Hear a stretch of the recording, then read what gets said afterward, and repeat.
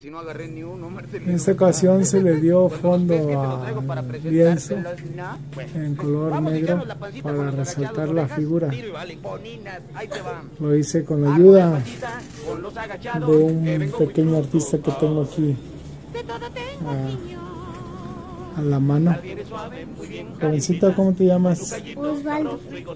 ¿Y qué hiciste en el lienzo?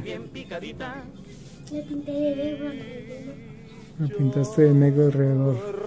Con eso resaltamos la figura y yo puedo ubicarme y encontrarme para empezar a aplicar color, para empezar a aplicar el motivo.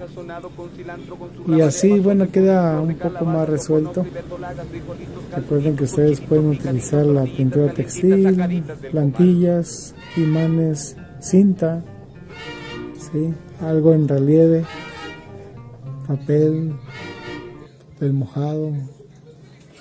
Ah, también se puede calcar con, dibujarlo en papel y, este perforarle la, la, línea y calcarlo con, con anilinas o proyectarlo con un proyector y calcarlo o cuadricularlo pero todo siempre con la ayuda de los bueno, yo aquí lo otro, eh, eh, utilicé otro sentido más de los que nos dice la maestra Amanda Ochat en su libro Sistema y Metodología para la Enseñanza en las Artes Plásticas para Ciegos, que dice que utilicemos los demás sentidos. Yo, pues para hacerlo menos tardado, utilicé el sentido común y, y y pues este le pedí la ayuda a mi nieto Osvaldo.